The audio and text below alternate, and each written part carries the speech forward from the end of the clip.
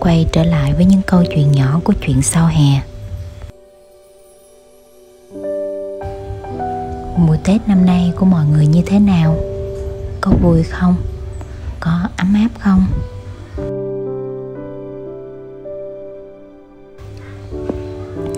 Mùa tết năm nay của chuyện sau hè, có đoàn viên, đủ đầy. Tuy có vất vả, nhưng cũng có rất nhiều niềm vui.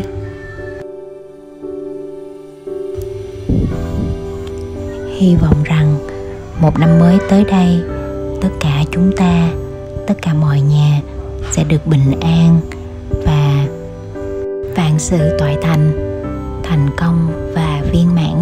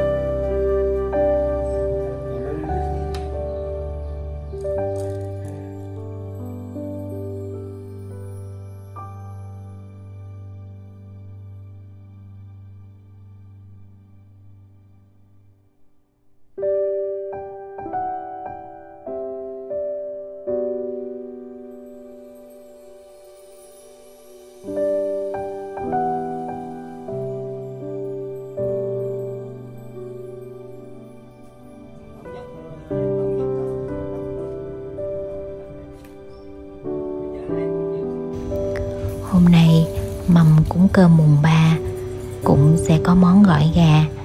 Nhưng khác với mọi khi, thay vì trộn bằng bắp chuối, hành tây hoặc rau răm, thì ngày tết ở dưới quê, vào ngày tết, lá rau răm sẽ được thay bằng lá vạn thọ để trộn với bắp chuối bóp thịt gà.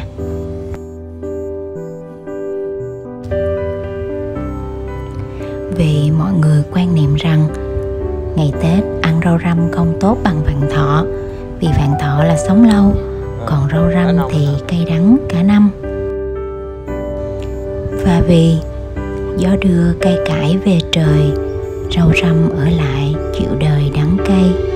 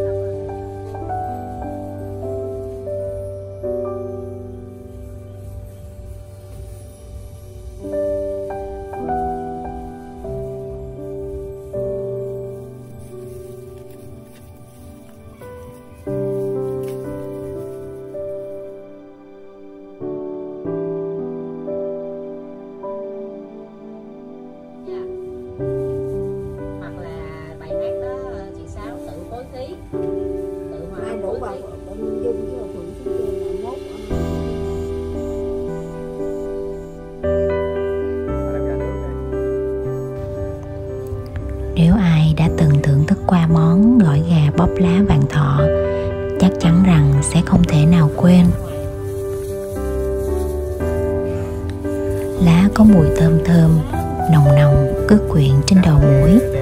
Ăn vào một miếng sẽ cảm nhận được vị the the, cay cay, ấm ấm ngập tràn từ đầu đến cuối lưỡi. Không khác chi một viên kẹo bạc hà được ngậm trong mùa đông lạnh giá.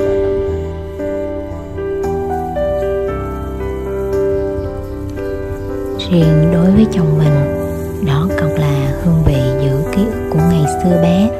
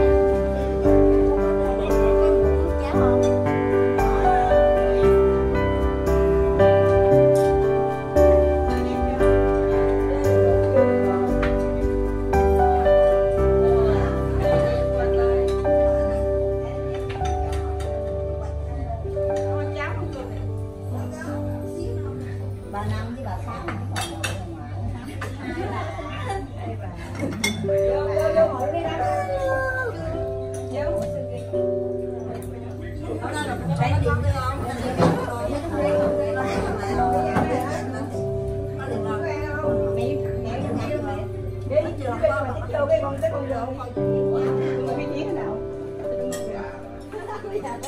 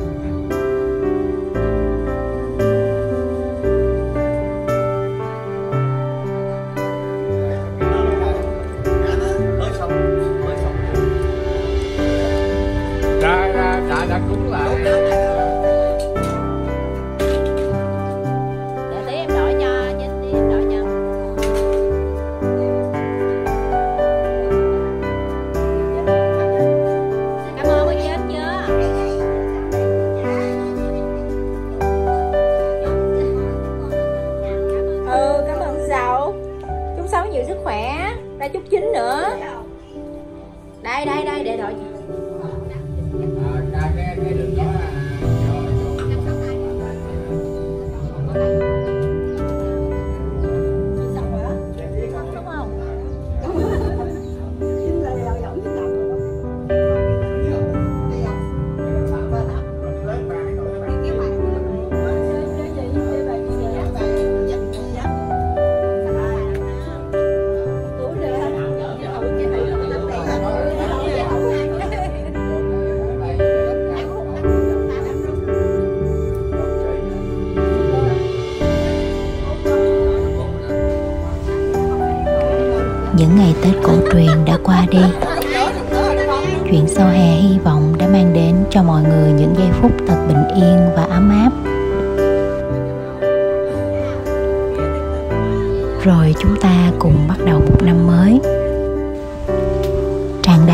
tin và hy vọng nha.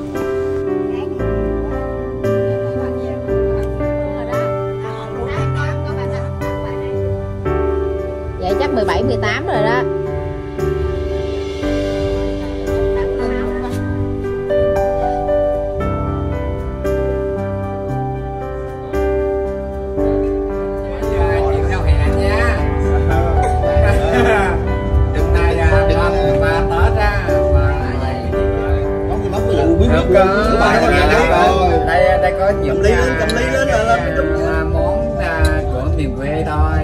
Mà cả nhà mình à, cùng thưởng thức nha. Yeah. Dạ.